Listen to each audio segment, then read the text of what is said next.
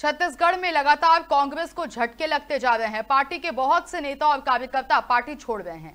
वहीं कांग्रेस में नेताओं और कार्यकर्ताओं के इस्तीफे को लेकर पीसीसी चीफ दीपक बैच ने कहा कि भाजपा मुद्दा विहीन हो गई है। भाजपा पूरी तरह से इस लोकसभा चुनाव में बौखला गई है।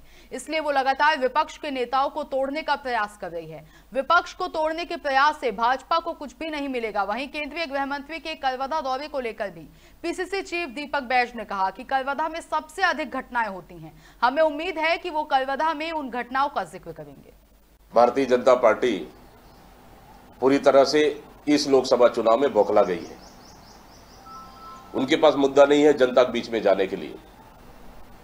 इसलिए लगातार विपक्ष के नेताओं को तोड़ने का काम कर रही है, लालच देने का काम कर रही है, डराने धमकाने का काम कर रही है, लेकिन इससे कांग्रेस पार्टी को कोई फ़र्क नहीं पड़ेगा।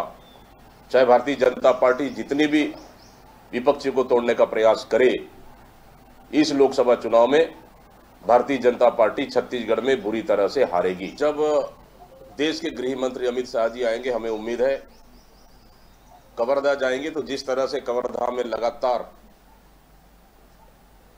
राज्य के गृह मंत्री होने के बाद, उप मुख्यमंत्री होने के बाद, उस ज़िले में सबसे ज़्यादा प्रदेश में घटनाएँ हुई है।